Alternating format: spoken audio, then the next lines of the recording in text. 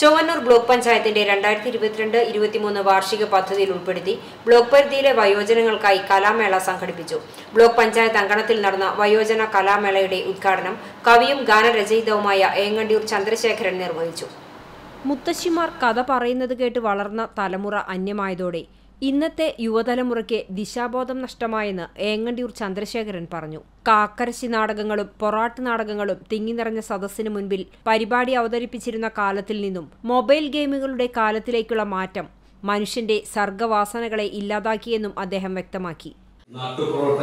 പഴയ പോയിട്ട്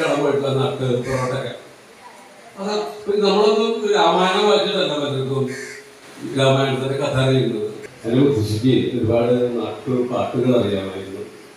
പഴയ കാലത്ത് എല്ലാ വീട്ടിലും കൃഷിമാരുണ്ടാവും ഒരു മുറുക്കന്റെല്ലാം വെച്ചിട്ട് മുത്തശ്ശി വിളിക്കും ഇത് പിള്ളേരെയൊക്കെ വിളിച്ചിരുത്തും. ഇതുപോലെ ഇവിടുത്തെ ഒരു രാജാവ് ഉണ്ടായിരുന്നു? രാജാവിന് അഞ്ച് മക്കളുണ്ടായിരുന്നു? അഞ്ച് മക്കളും കൂടി യുദ്ധത്തിന് പോയ കഥയൊക്കെ പറഞ്ഞു. Block panchayat president Ancy Williams അധ്യക്ഷയായി.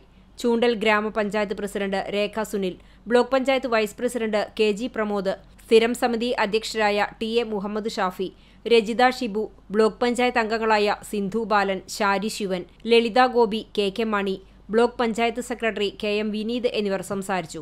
പഴയകാല കലാകാരന്മാർ ഉൾപ്പെടെയുള്ളവർ മികച്ച കലാപ്രകടനങ്ങളാണ് വയോജന കലാമേളയിൽ കാഴ്ചവെച്ചത്. പ്രായത്തിന്റെ അവശതയോ ക്ഷീണമോ വകവയ്ക്കാതെയാണ് ഓരോ മത്സരാർത്ഥിയും തങ്ങളുടെ കലാപ്രകടനം അവതരിപ്പിച്ചത്.